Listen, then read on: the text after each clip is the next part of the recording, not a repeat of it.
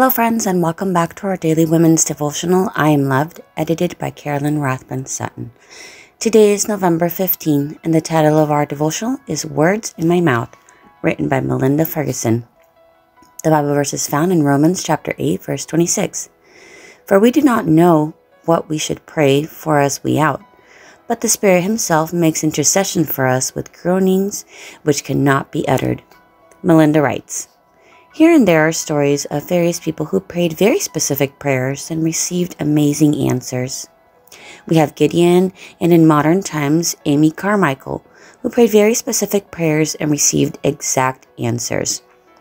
Jesus promised us in John 14 13, Whatever you ask in my name, that I will do, that the Father may be glorified. He also inspired Paul to write in Romans 8 26, that one of the functions of the Holy Spirit is to help us in our weakness.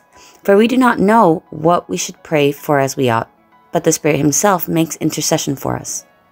When I was 15, I learned the validity of today's text, Romans 8:26. My family and I were away from our home church for several months because of my parents' work.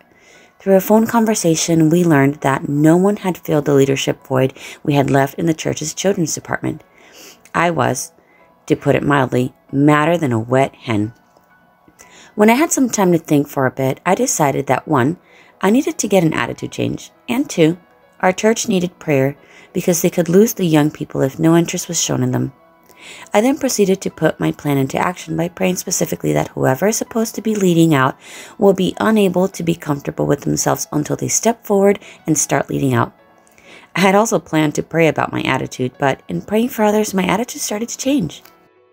Later, the lady who had taken over shared leadership with us during those three weeks told us that she had heard the appeal for help with the youth, and she had thought, I should be helping, but I don't feel qualified. Finally, in order to live with herself, she accepted the challenge. I had shared with her my prayer. Not always do we learn of such dramatic answers to our prayers. Yet God has promised to help us know what to pray for, to put words in our mouths. He loves to hear from us and then guides us when we pray. Melinda Ferguson lives in Rapid City, South Dakota, United States of America. At the time of writing, she was working as a registered nurse in the local hospital. Melinda enjoys helping out with various church programs, especially the music. In her spare time, she visits family and enjoys hiking in the Black Hills as well as reading. We should always remember that whether it's a difficult situation where we're asked to pray in, or maybe it's giving a word of encouragement to someone and you have no idea what to say. Just know that God will equip you with the tools and the words that you need for the right occasion. Just trust Him. I hope you're blessed, you enjoyed today's devotional, and I will see you again tomorrow.